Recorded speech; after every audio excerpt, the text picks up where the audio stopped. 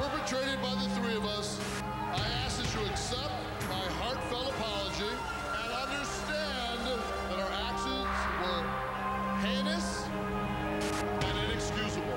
We are apologizing tonight from our hearts.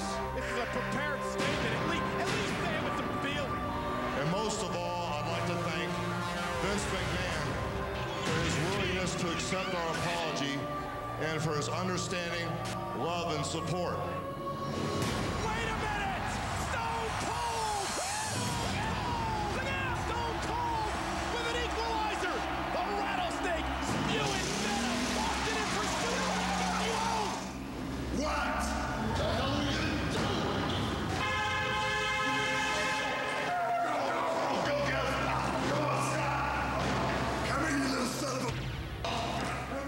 Yeah, Scott's not here. Where the hell's he at? Oh, no, your best buddy. He's always with you. Hey! He's got him! You come into the World Wrestling Federation looking to make a name for yourself on Stone Cold, ruin my title shot.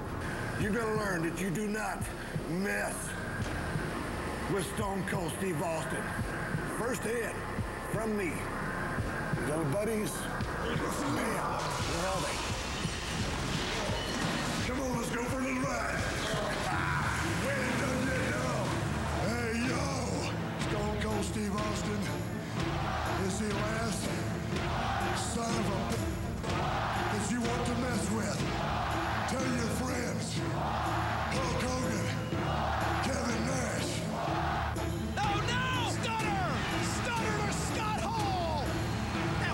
time, is it? Is that what I think it is? Oh, he's got paint. Perhaps a little bit of their own medicine.